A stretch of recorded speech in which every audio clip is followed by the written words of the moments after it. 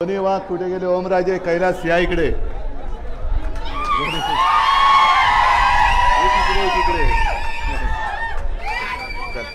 हे दोन वाघ आहेत माझे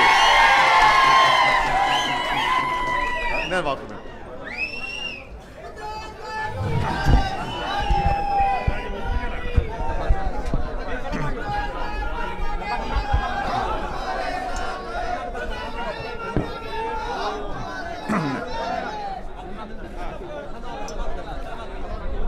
जमलेल्या माझ्या तमाम हिंदू बांधवांनो भगिनी आणि मातांनो.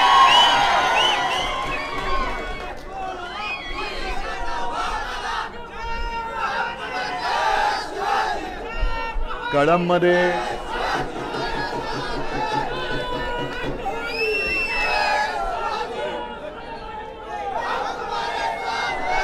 कडममध्ये मी भाषण करण्याची गरज आहे काय? हे दोन्ही वाघ कुठे गेले? ओमराजे कैलास या इकडे. इकडे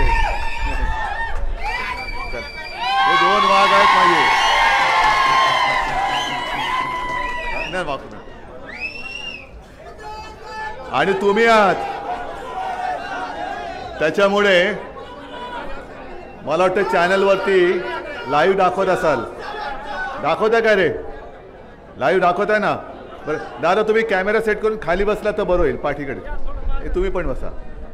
मी एवढ्यासाठी विचारलं लाईव्ह दाखवताय मला टी व्हीवरती चमकायचं नाही आहे मला संपूर्ण देशाला दाखवायचं आहे की निष्ठा कशाला म्हणतात.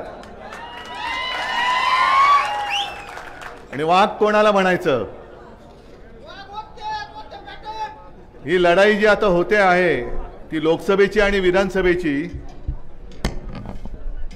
ही लढाई नुसती पक्षांची नाही आहे ही वाघ विरुद्ध लांडगे. तुम्ही कोण आहात? बेईमानी विरुद्ध इमानदार. तुम्ही कोण आहात? गद्दार विरुद्ध निष्ठावान. तुम्ही कोण आहात? हे संपूर्ण महाराष्ट्राने ठरवायचं आहे की मी गद्दार आहे की मी निष्ठावान आहे. मी वाघ आहे की मी लांडगा आहे. मी इमानदार आहे की बे मी बेईमानी करणार आहे.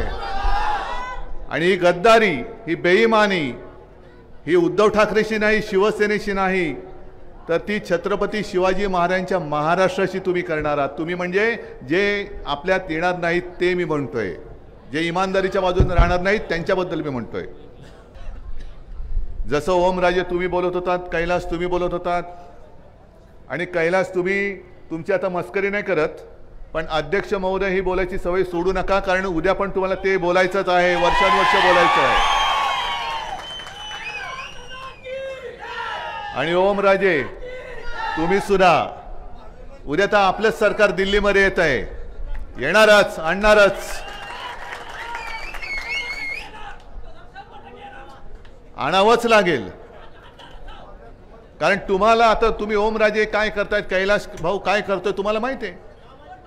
अगदी समाजाचे विषय असतील शेतकऱ्याचे विषय असतील एक तरी मला सांगा गद्दार तर सोडूनच ते गद्दारच आहेत.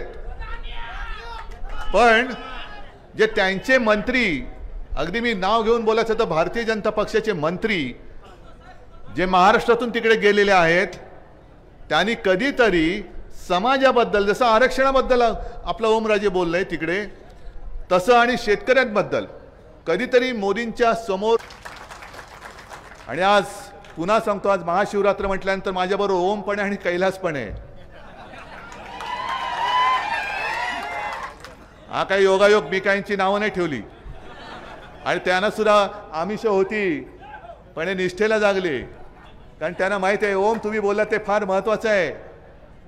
की साडेतीनशे वर्ष झाल्यानंतर सुद्धा खंडोजी खोपडे ही गद्दाराची अवलाद सूर्याजी पिसाळ गद्दाराची अवलाद पण तानाजी मालुसरे बाजीप्रभू देशा देशपांडे सगळे यशाजी कंक ही सगळी. त्याच्यामध्ये सुद्धा एक मुद्दा म्हणून सांगतो कान्होजी जे नाईक. म्हणजे हे सगळं इतिहासामध्ये आहे.